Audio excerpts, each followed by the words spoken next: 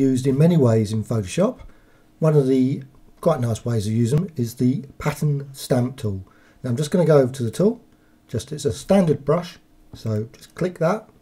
You will see it under the clone stamp, so pattern stamp. So just select that. You will see a drop down now here, top, and we'll have the patterns you currently got. Now, of course, depends on which version of Photoshop you got. You might see different patterns. So go to the right side menu and I can replace patterns and I'm going to select selection of I've got here PAT files from Graphicxtras but you can find other PAT files on the web. So click load and they will be loaded then select one. I could select any of them obviously and then I can just quickly apply the pattern design.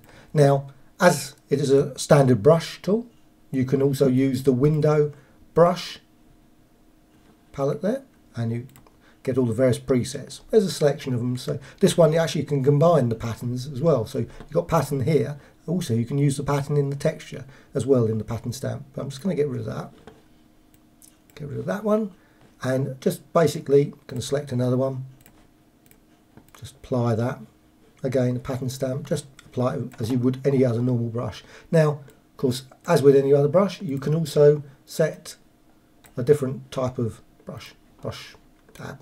So you can actually just apply it like that. Also, with the pattern dab, one of the nice pattern features for pattern dab, I'm just going to remove move this slightly out of the way, is the impressionist option. So click that, and I'm just going to resize this a bit so it makes it a bit clearer. And it can just be, so you can just apply, so that pattern you used to, it won't actually look as it normally would look like. So you can see the pattern there. So I've just quickly selected another pattern there just to quickly apply that. Becomes a more impressionist style. Again, you can modify it again via the brushes. In fact, shape dynamics as well as texture, scattering of the brush. And also you can apply, change the opacity as you would any other other brush. As well as applying it using different colour modes. So difference, blending modes. So you can just quickly apply the brush stroke that way. So change that. You can use it to create very abstract designs as well as texture designs, patterns and much more in Photoshop.